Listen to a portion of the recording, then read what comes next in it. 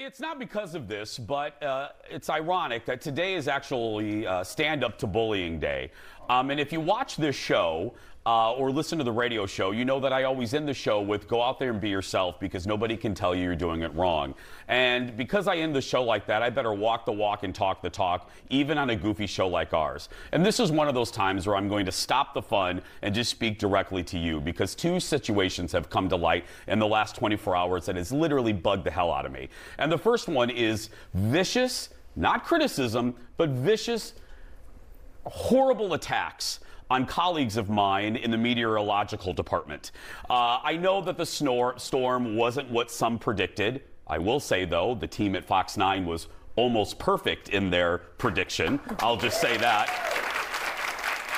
But over the last but over the last 24 hours, some colleagues and friends of mine have been on the receiving end of not fair criticism or jokes, but vicious, vicious messages, some homophobic, some violent, some threats, all because of snow. The science of, meteoro- of, meteorology isn't a perfect science. If it was, or if it was easy, we could all do it. I know the jokes of, well, I could take a dart and throw it. I have even made myself. But these professionals look at 10, 12 models and, and look at that data and craft a forecast to keep all of us safe. And they do the best that they can. They do the best that they can to keep us safe.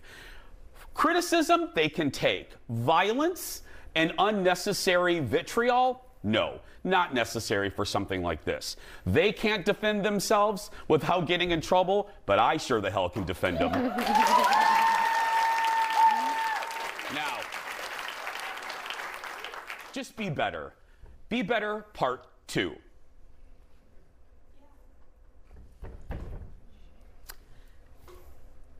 I am really sick of having to come on this show and defend female colleagues of mine. In 1997, when I started at WCCO at 22 years old in the dispatch shack, I would take messages from people calling to comment on the outfits of Amelia Santaniello. Not commenting on her professionalism, not, not commenting on her work ethic, but commenting on her hair, the length of her skirt, how she looked in a certain outfit. Never once in the three years I worked at WCCO or this station have I ever taken a comment about a male colleague of mine. Two years ago, I had to stop down the show to defend another female colleague. And these people aren't asking me to do this, but Elizabeth Ries, my friend from our competing show, Twin Cities Live, who was on the receiving end of some of the grossest comments I've ever read about, you guessed it, her appearance, how she looked in a certain outfit. Any of that go to her co host Steve at the time? No. Yesterday, this one was on the receiving end of unnecessary attacks on her appearance. Not liking her skirt, people calling the station to complain about it. Again, not commenting on the fact that my my little sister and my friend had just completed a really hard 48 hours of work Let's go back to what I said at the beginning to keep all of us safe, reporting on traffic conditions to make sure we knew where and where not to drive. Nobody called to comment on her work ethic. Nobody called to comment on her professionalism. They called to complain about this or that.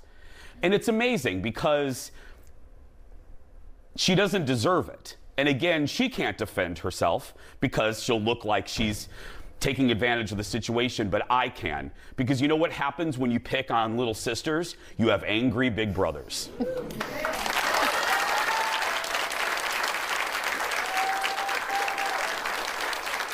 I know, I got to wrap. And in this case, you have several big brothers who aren't real happy right now. Uh, I love you. Don't you listen to those comments? You are beautiful. I don't just say it as a line into the show. You're beautiful the way that you are. You're a professional. You're, you're grace under fire. You did a great job for this station the last few days.